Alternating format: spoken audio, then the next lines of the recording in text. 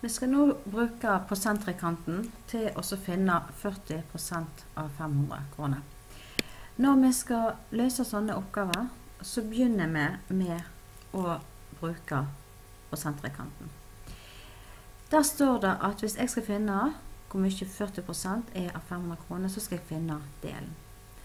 Og da skriver jeg opp her at del det er lik prosentfaktor ganger total.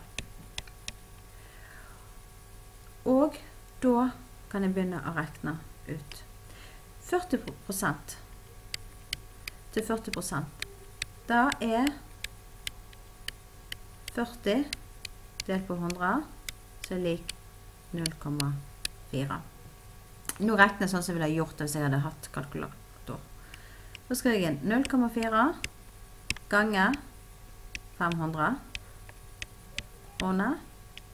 Og så regner jeg det ut på kalkulator, så får jeg 200 kroner. Så hvis jeg skulle gitt vekk 40% av mine 500 kroner, så hadde jeg gitt vekk 200 kroner. Hvis jeg skulle regne dette her ut uten kalkulator, i stedet for å bruke 0,4, så hadde jeg brukt 40 hundredeler. 40 delt på 100 ganger 500 kroner her kan jeg forkorte. Og så har jeg igjen med 40 ganger 5, så er lik 200 kroner.